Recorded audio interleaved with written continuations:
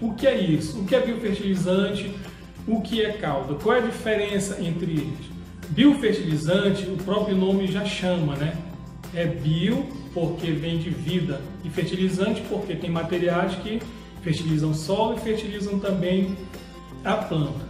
Então, o biofertilizante é feito de produto natural, produto que você encontra de forma, em sua forma própria na natureza, você prepara e sobre a ação de fungos e bactérias ocorre aquele processo de fermentação e após esse período de fermentação, digamos assim que aquele produto está preparado para melhorar as condições da minha planta.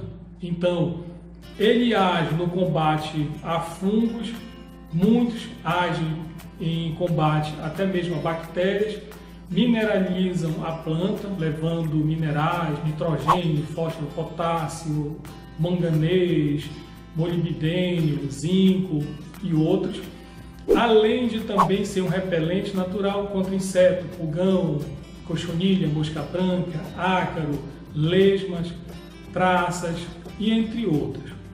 As caudas, elas são não precisam da ação de microorganismo, nem bactéria, nem fungo.